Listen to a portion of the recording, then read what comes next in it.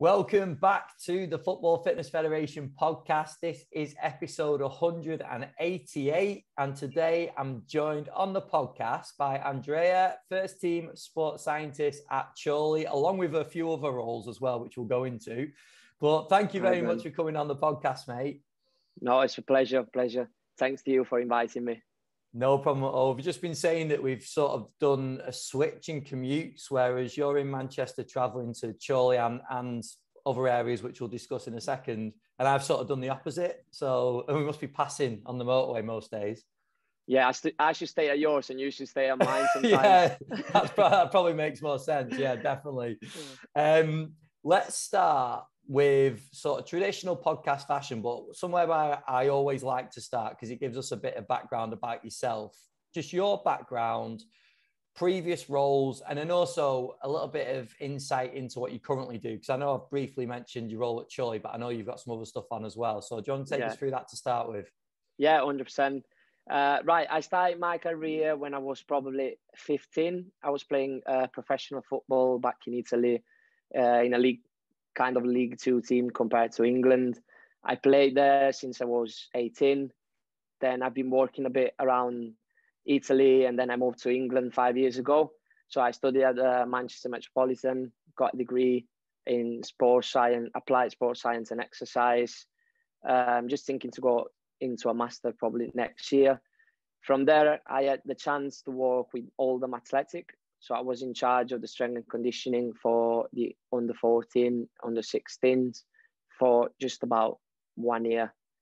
And then I had the opportunity to go and work with Chorley, which was quite funny how it went. Just I went there to work with the under 19, under 20, and there was, was uh, the sport sports side and the strength and conditioning coach. They was missing for the first team. So they were just like, "Do you want to stay?" And I was like, "Yeah, of course, I'll do the session 100%." And the players really liked me. Coach really enjoyed it. Um, it was a really good session, and just like, right, do you want to stay with the first team? And I was like, right, that's perfect. And four months ago, well, th- two months ago, sorry, I started to work with Blackpool FC as well with the academy. So I'm working currently with the under 13, 14, uh, mainly gym based so we don't do loads of session on the pitch. It's mainly gym based, what we do with Blackpool. While on the other side with Chorley, um, is a National League North type of team. So we are a part time. I know that you can you can see like teams around the league that are full time or part time or be of both. So what we what we try to do is try to give our best shot during the training session, which is I think it's been challenging in a way but it's been a great way to improve myself and try to use the time that we've been given during a cer- certain sessions so try to really maximize the time that you've been given from the coaches to try to achieve what you've planned to achieve for that macrocycle or mesocycle whatever you're working on. Brilliant. And what what's your responsibility at blackpool now? So what ages have you got at blackpool? I've got the under 13 14s so I'm currently working with 13, 14s. So it's it's a bit of the opposite side from a first team to an academy type of perspective because obviously we know from literature, especially when you work with youngest, uh, well, you've got two ways of treating them. So you can either take in consideration the by the chronological age, which we almost know now that is wrong, or you can go and try to look at the biological age, so what they try to do at Blackpool, or what I used to do with my athletes as well, is just try to work predictive height and peak height velocity.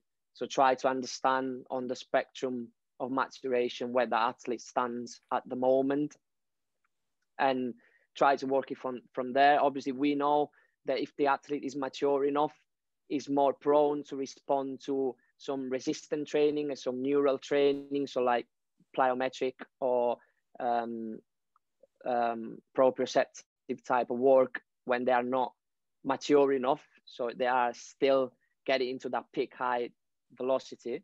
So they, they haven't reached that point yet.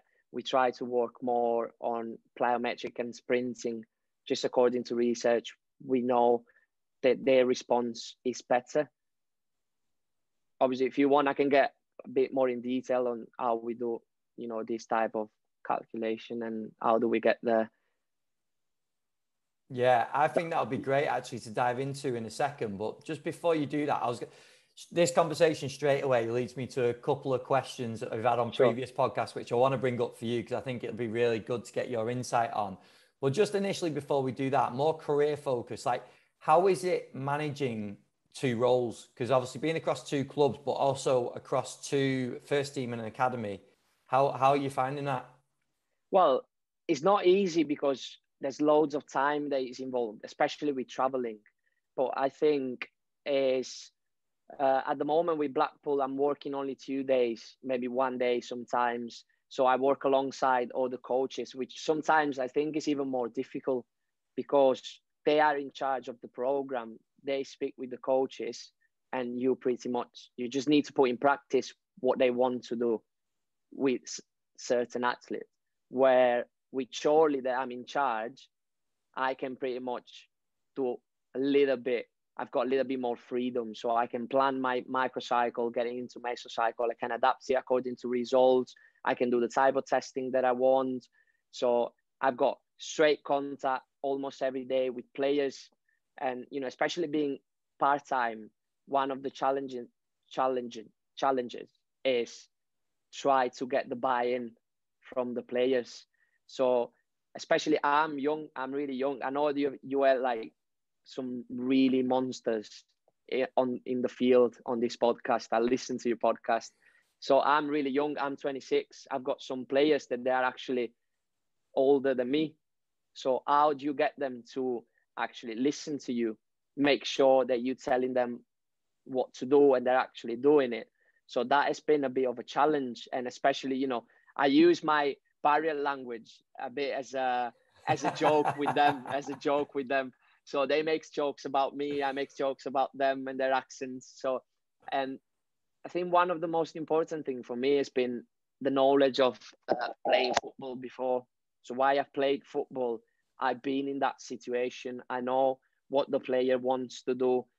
I know that sometimes, as we were saying before, before the podcast started, sometimes we forgot about the human aspect that is behind the athlete. So they're not only athlete. So we need to remember that they've got a private life. They do something on the weekend. They might have a beer or two sometimes. Uh, they might want some free time as well. So it just try to understand when is the time to really push them and try to get them from behind and say right that is the time that you need to listen to everything i'm saying no matter what.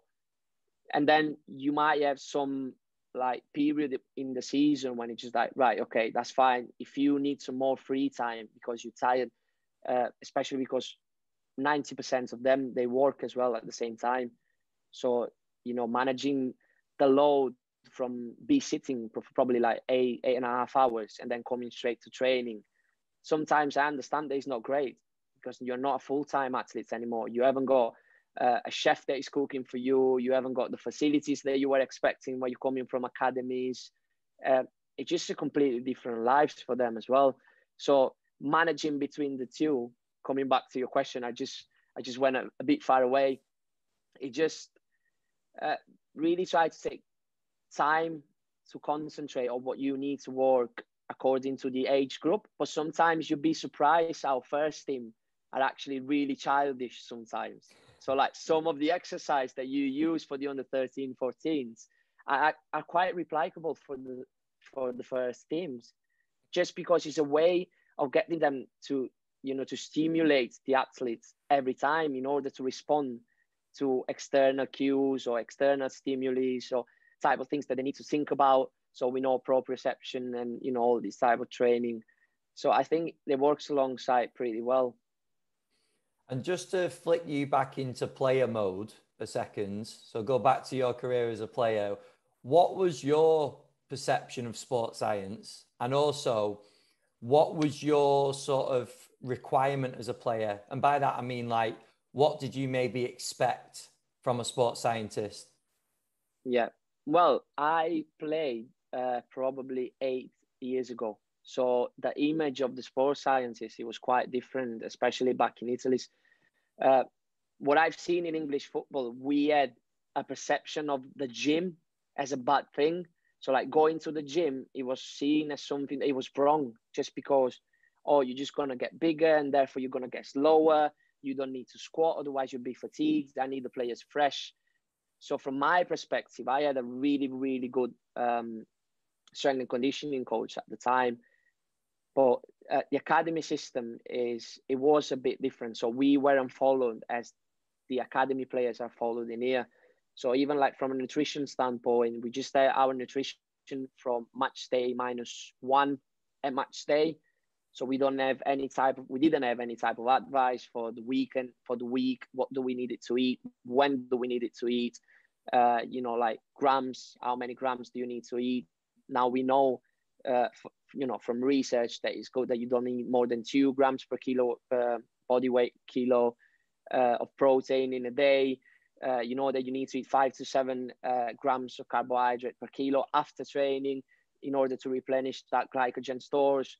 So it just there's there was a completely different perspective, and especially like knowledge wise, I think now performance has changed so much compared to where I was before, and I think that was one of the main reason why I didn't make it. To be fair, it just I was uh, I was a really good runner, really good runner, but I wasn't eating enough. And now that I've got the knowledge, I know that I wasn't eating enough. But at the time, I was just like, I was young and I was full of energy. And I was like, why do I get injured? Why do I get fatigued? Why do I throw up after training? And, you know, I'm the only one that is doing that. And no one would say anything. So my perspective of the sports scientists at the time was like, right, they're doing my best. You know, they're doing their best to get me in the position to perform at my best. But now that I'm into the field, I know that it wasn't. So from one perspective, it's a shame, and you know, from another point of view, it just pushed me to do not make the same mistake with my athlete. So even if I'm not a nutritionist, if I know something, then I can give an advice. I always suggest go to a nutritionist because you know they are specialized to do these type of things. But if an athlete wants to know my opinion in respect on nutrition. I always try to help them. So I'll question them. What did you eat? When did you eat it? How many times you eating? You know, these type of things. Try to get them to open up with you a little bit more and try to understand again the human aspect behind. So is it is it fair to say then there's some similarities between going back eight years to when you were playing and the sort of perception of maybe what players thought and currently maybe what the parts maybe you've experienced that with some of the part-time players as well in that some of those maybe opinions of sports science and the support is similar or do you think it's come do you think it's come past that point? Uh, it, it's really individual i think. Like it really depends from the players. Because especially the players they've got background in professional academy. So we've got loads of players that came from premier league teams academy. And their knowledge about you know nutrition uh, resistant training they know that it's really really important. And they perform better when they do this type of training where we've got players that they always been maybe they've always been playing in the national league north so they've never been into a really really professional setup and they don't really understand how important it is or they understand that it's important but they don't know how uh, they don't know the technique, for example, or sometimes why is a part-time team? I might give them a program, but I'm not there to let you know to push them to do the program. And we know that like uh, uh, sets, reps, how how many minutes you rest is really really important. So if I'm focusing on one specific quality, and I'm telling them to rest for one minute, it has to be one minute. You know, you can go up to 130, but then if you start working over 130, you start to work on different type of physical abilities. That is not what we're trying to do. And why the player haven't got the knowledge to understand why rest is important, they might not get the benefit of that specific training that you're trying to give them. So they're reacting to the stimuli in a different different way. So the players that have got more knowledge in the background, they usually tend to respect you more because they understand the importance of the role, the importance of resistance training or strength training or speed training. Uh, especially the one that have been injured in the past, they know that it's really, really important. So I yeah. think yeah, from eight years to now, perspective has has changed a lot. Has changed, and I think as well as the demand, like you know, there's loads more contacts. Players need to be way stronger now. Uh, distances have increased massively, especially in sprinting distances. So it's just like you need to change as the demand of the sport change. And eight years ago, I'm sure that the demand were different, and and the science as well was different at the time. So you just need to be in line with the with the new changes. I think the really interesting thing at that level as well is that you've just mentioned before that some clubs are full time, some clubs are part time. So you you're treading that sort of line of players being in all the time, or like you say, having jobs and being part time. But you'll know this better than me. Like, what do you see a big difference between not not only leagues from things like distance covered and some of the stats that you're going to be monitoring, um, but also teams within the league? Are the differences from a from a full time club to a club like yours, or is it not necessarily something that you've looked at? Uh, well, yeah, there, there are differences, but what I found there's not much difference in like distances or sprinting distances, and even injury wise. I think we had two muscular injury during the season, so which is great. We had one mm. hamstring tear, grade three, from an athlete that he actually uh, it was a recurrent injury. It happened already two times, and you know sometimes you need to make decision. I think the main difference between part time and full time obviously as, as he states in the word is the time that you have with them and usually the time is given from the money so from the budget that the club has got and when you are a full-time club usually you have got more players. So when you've got more players it's easier to manage the players along you know the the season. Because this season we had two cups game and we played 46 games. So for a club that is part time, which means you training three times, sorry, which means you training three times a week, is you know there's loads of game. Sometimes we were playing in 36 hours time. We had two games in 36 hours. How do you recover? Is you know how do you make them ready for that type of game? There's literally is you're supposed to recover, but you haven't got the facility or the time to let them recover. Uh, but I think the full time clubs most of the time compared to us. They spend more times on analyzing. So like they have, you know, the day maybe the day before the match or on match day, they've got their analysis room. They try to study the opponents. You know what moment they should do, studying the uh, opposite players that they need to face during that day. And obviously, they've got more time for the gym, which is something that we don't really have at times. And I think that has been one of the challenges with the player this this season. That everything that I was doing with them, it needed to be pitch based, which is a challenge in a way, but in, in another way, is really productive for yourself because you need to think of different ways on how do you adapt training just using whatever you've got. Sometimes you just need to use cones and bibs because we haven't got anything else. So I had some equipment myself, so I can bring some weight or uh, some resistance band, uh, some parachute at time, which I don't think sometimes is really useful. But it's whatever you can get. How do you adapt your training to what you've got? While when you go into professional setup like Blackpool, you you pretty much have got everything. So it's different. You can plan the training session and you can just do the training session that you want because you don't need to think about how do you need to adapt it to what you have. So I think one is one of the biggest challenges and probably one of the biggest differences between players that play part time or full time.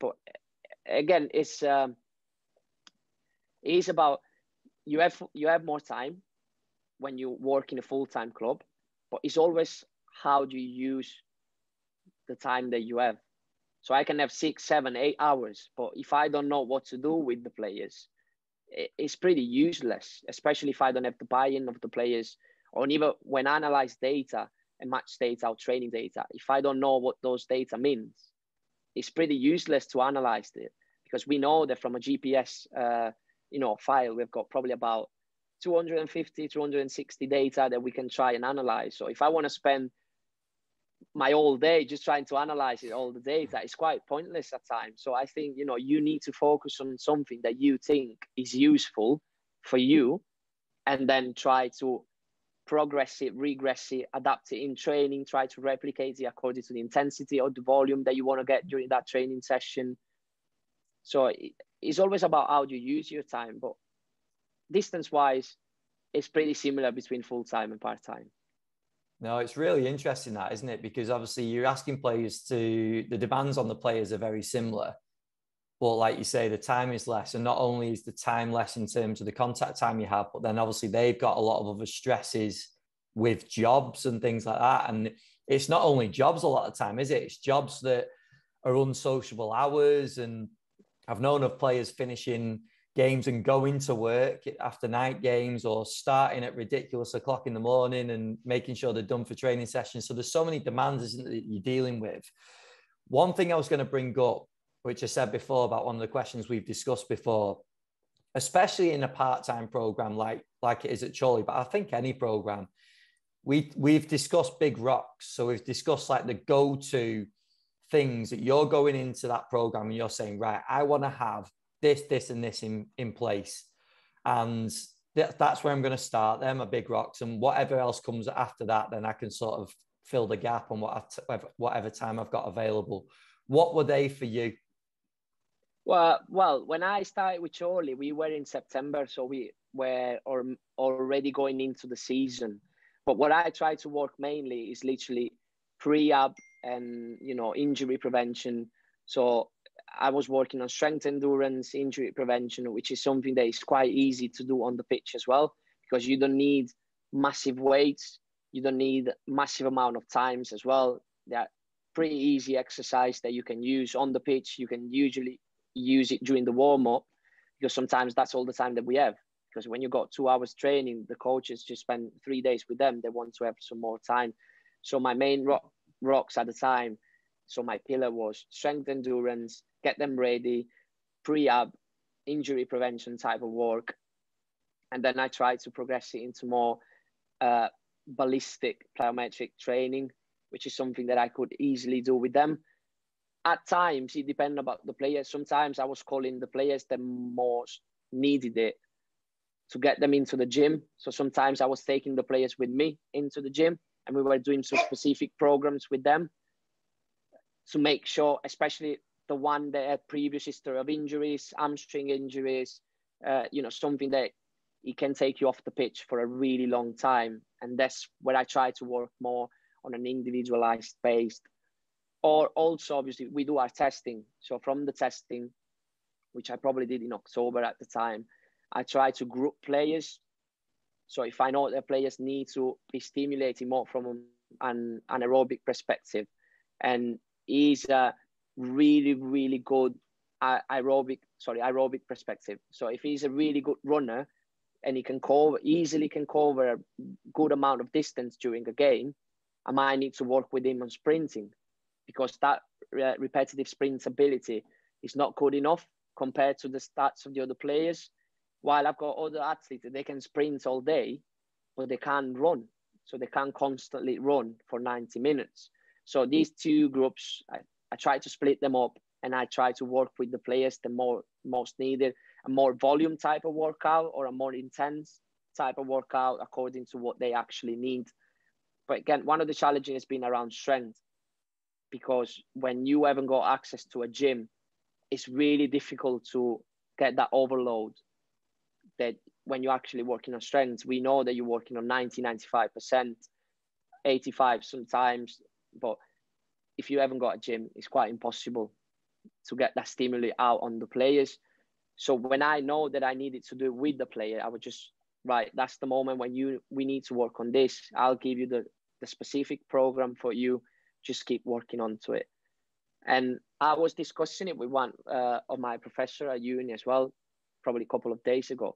That sometimes we think about uh, mesocycle in in a wrong way. Like usually we know a mesocycle can be four, six weeks, but especially with youngest maybe. But while we've got players that are 18, 19, and maybe they haven't been working on strength before, if we see that during that four, six weeks, we have a good progression. So obviously we take the smallest worthwhile change as a type of range. So how much difference between the first test and the second test we think is important and is relevant as an improvement. So it's classified as an improvement.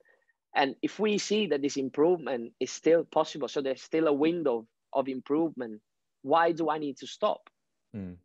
So if I've seen that after four or five weeks that I've, I've finished my mesocycle with them, and I can I can see that they're still improving, so they're still going up, maybe for power, power production or rate of force development.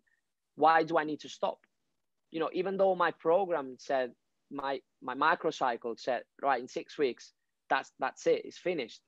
But if I know the power is really important for that players, or I don't know, I'm working on impulse for certain types of players, why do I need to stop?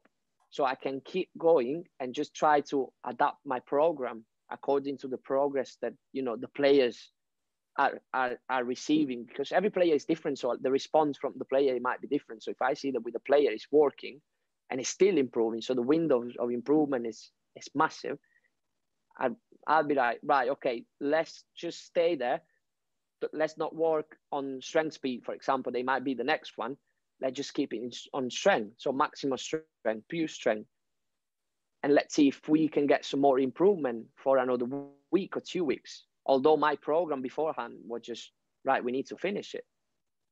Yeah, there has to be that flexibility there, doesn't it? And that, in a way, is what we touched on a couple of episodes ago. Is that your your training is monitoring, isn't it? Like you're constantly monitoring your players session in, session out, and that's exactly what you're referring to. You're not you're not having a rigid program where it's like a, a specific start and stop, which you might set out initially. But we say about planning in pencil, don't we, rather than pen? Like you yeah. want to be able to adapt things. Um, if I was to ask the same question about, about these big big rocks or pillars or whatever we want to refer to them as, but now with the Blackpool role in the academy, how would that differ or what would that look like? Right, that's completely different, I think. Um, we come we come back from you know what I was saying at the start. So taking from a biological age perspective. So once I know how far away they are from peak height velocity, I can understand uh, the structure of the bones, the architecture of the muscles as well. So we know that they are more prone to receive certain type of stimuli. But in my perspective, um, I think it's more important to work on movement. So how do you move? Can you skip? Can you jump? Can you land? So like all try to build the foundation on specific movement to then try and build it up with time and try to really create that good athlete away from football. So it doesn't necessarily need to be specific for that specific player, but we're just trying to build a really good athlete that he can move in all different planes of movement, he can change direction. He knows the technique of changing direction. He knows the technique of acceleration. He knows how to decelerate. He knows what's the position of the foot when it's going top speed. So try to work on this specific skill, especially seeing my first team players. And that's a good thing, I think, when you've got something to relate it to. I've got a really, really bad technique players when they run sometimes. They're still really quick, doesn't mean that you're not quick, but the technique is wrong. And you can tell that it's wrong. So some of them are not getting really into that triple extension. They've got a massive recovery of the foot when they're going from one foot to another, someone from one stride to another, someone is overstriding, someone is heel kicking, which is a really footballer things that for some reason 90% of footballer just heel kick when they're running. And we know from research that you putting loads of pressure onto your muscles. So like hip flexor, rectus femoris, hamstring as well, when you don't really need it during during that action. So when you're doing a certain movement, it needs to be um, concrete to what your aim is. So we try to avoid. I try to work myself avoiding false step, which again is another thing that loads of footballers do. So when I'm starting, I, they usually take a step back backwards to progress and to propel themselves forward. But if you think about it, you're losing probably 0.1, 0.3, 4, 5 milliseconds. They might not get you there. So when I want, when I usually say to them as well, if you want to go forward, you need to go forward. So first step is forward. I don't need to go backwards to propel myself forward. So we try to work on mechanics, mechanics of movement, different type of movement. How do you react to an external stimuli? How do you shift your body weight when you change direction? Uh, and then obviously we build the foundation as well for in gym programs as we progress. So how do you squat? How do you can you do an overhead squat? Progress into some weightlifting derivatives as well. As obviously now we know that there's loads of research going out uh, um, on weightlifting derivatives and important on the force velocity spectrum. So just making sure that when they go into the gym and they are putting on the big weights, they know what they're doing. So you don't need to start from zero with them. But my personal opinion is just try to make them a good athlete. So can they run? Can they jump? Can they change direction? Can they land? It gives a really nice insight, I think, for the balance that you've got between roles in terms of first team and an academy, but also the, the part time, full time like for me, the sort of blend that you're working with at the moment gives gives you as a practitioner such a good insight um, into well, I was going to say two worlds, but essentially it's like four worlds with full time, part time, and and different age groups. And it and it sounds it's great to get that insight from you on these questions. The, the other thing I was going to ask, and just try and dive into the part time stuff a little bit more, because I think there'd be people that can relate to this really well. Is you mentioned before about buy-in and getting play, keeping players on track. What maybe, because we've talked about that as like a challenge, one of the main challenges of part time players going off and obviously having other commitments and things like that. What are maybe some things that you've put in place that have um, helped with that and maybe given them the support away from the club where full time players will be in the club doing that work? Well, I think uh, well, one of the main things is usually the relationship that you build with the players. So again, that won't relate to the buy-in of the players, but they need to believe that what you're trying to do with them is gonna make them better. Especially when you work in part-time club. What I usually tend to say to my players, um, we have got probably seven or eight players that have played professional and they're still 21, 22, 24, what I always say to them, you're still in time to make it. So if you want to make it, you need to make sure that you're doing what a full-time athlete is doing. So what I'm trying to do now is providing you with something that can help you keep track with what they are doing in a full-time club. So in a full-time environment, they go to the gym two or three times a week. They eat well, they respect their recovery, you know, they rest well, they sleep well. So what I'm trying to do with you I just want you to believe that you can still be a player. And that's why you need to work on these type of things. Again, if you don't want to do it, I'm not forcing you because no one likes to be forced. So I'm not saying that you need to do it or you have to do it. But if I was you and I had, you know, your, I don't know, your technical abilities or your running speed or the way how you finish, I would do it because it's a, it's a waste. Like, you know, there's, a, there's a still a talent in you that they can express themselves. And we know the players, some players have started their career when they were 24, 25, or even 26, just because you get uh, a type of maturation that it just afterwards on in your time life. So you start to realize, right, I, I wasn't a great athlete. I wasn't doing very much to respect myself, to respect my body. I wasn't eating right. I wasn't sleeping right. I was going out every night.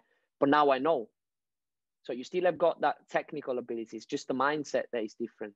So I think one of the important things in in part time, just to answer your question, is just try to build a mindset in the players and make them believe that what you try to do with them is just to get them better. So what I usually tend to say, probably, I'm sorry for all the Chorley listener, if there's going to be some, but I tend to say, I don't want you, I don't want you to sit in here next year. I want you to be somewhere else because that's my aim. If one of my players goes up, that means that I've done a good job because I've worked with you. You worked well as well because I'm just providing you with something. Then mm it's up to you. How do you keep the intent? So how do you do you get that stimuli right? Because we know the players sometimes there's um, a great um, I think it was um, it was a presentation from Des Ryan. Is one of the um, is the performance director of Arsenal Academy, and it was great. He was just showing a video of a um, an Arsenal player. They, he was doing a drop jump, and you could tell from his face that he couldn't care less about what he was doing. Mm-hmm. So you know that during that time he's not learning anything because he's not concentrating on what he's doing. The intent is not maximal as you wanted it to be. So from my perspective, how do you get the players to buy in into that specific exercise? So even like a drop jump, some of the players they don't understand what is related to. So I try to explain why do we do drop jumps or why do we do box jumps, so that they can try and relate and think about it and say, right, okay, it does make sense. That's my perspective with part time. Again, it's it's about understanding them as a person and try to really get inside to get to know them and try to stimulate them more and more and more even if you don't think they're going to make it as a footballer honestly. N- not all the 20 players that we've got are going to make it. But maybe one maybe two maybe three. It's probably i think my personal opinion is in the mindset. No brilliant yeah and that's that's a really really good insight i think for a lot of lot of listeners. Um, i think we've covered some really really good stuff there. I want to just move on to the questions that we finish each podcast with.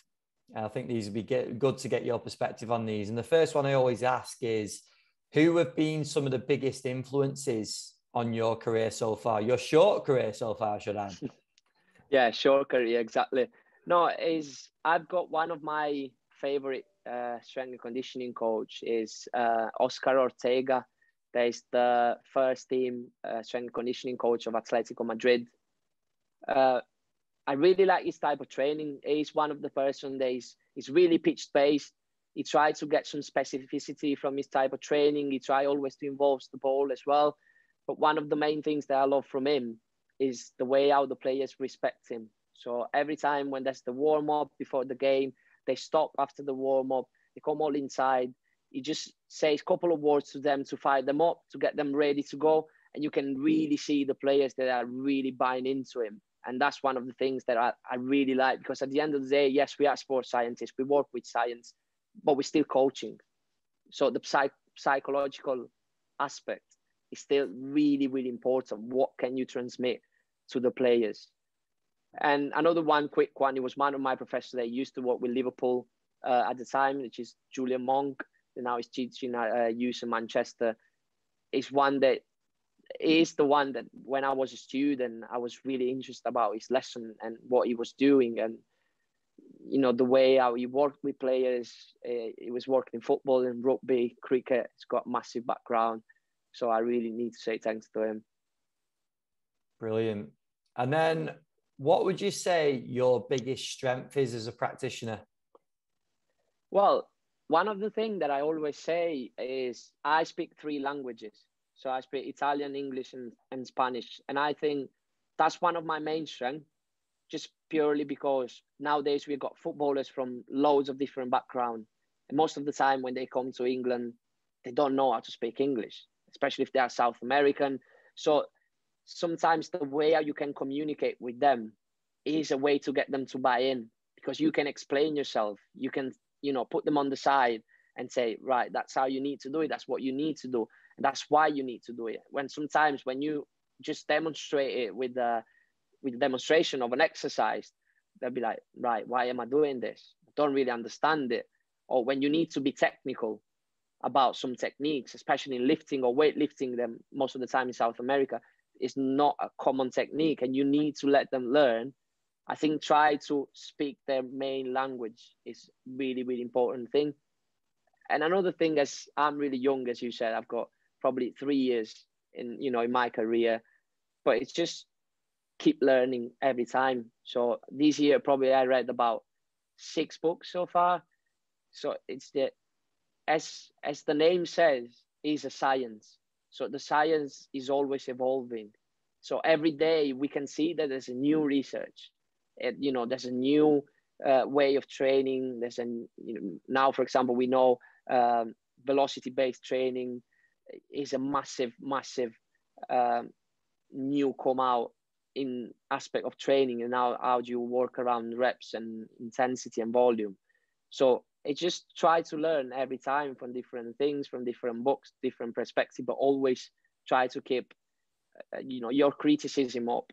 Just do not read the research maybe read the title or like squat improves sprinting distance. And you'll be like right perfect squat improves this you know sprinting distance. I always try to ask why. There's one of the famous philosopher there is socrates. He always said ti esti which means what is it so everything that you were saying they were asking and what is it so why is improving performance? Or just because of this, this all right why was the is increasing the cross sectional area? Right perfect why? So try to dig deep and deep and deep and deep and try to get always more answer more answer. And as you get more answer your knowledge improved as well.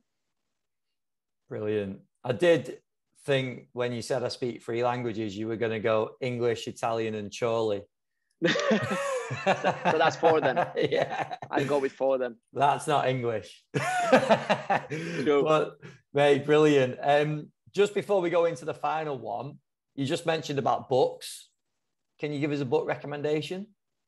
Well, Put you on the, the spot. Yeah, hundred percent, hundred percent. At the moment, uh, I've been reading uh, Football Conditioning from Adam Owen, uh, PhD. It's a great book just because sometimes we focus on the strength side, that's another thing that I probably didn't mention. So sometimes we tend to focus too much on the strength side and, you know, be the guy that's in the gym all the time. And then we don't know what to do when we are on the pitch. And as my role at Chorley is mainly on the pitch, I wanted to know more. So how do I periodize the small side games? How do I increase the intensity volume? How do I work around it during the week? And these type of things. And that's a great book. And there's another one that I'm currently reading. I finished up one day. It's the one from Paul Comfort at Turner, which is the last edition of Advanced Strength and Conditioning, which is great. There's loads of research, goes all the way around from resistance training to plyometric. It's it's really great. It's worth a buy.